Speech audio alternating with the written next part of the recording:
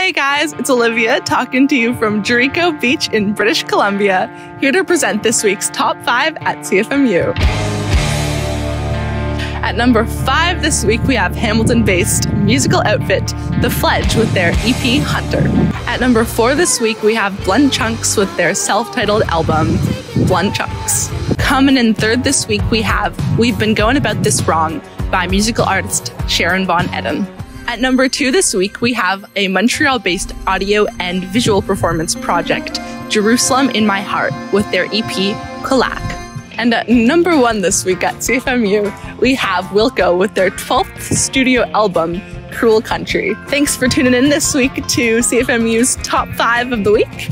And make sure you check out the single of the week next Friday. Have a great weekend.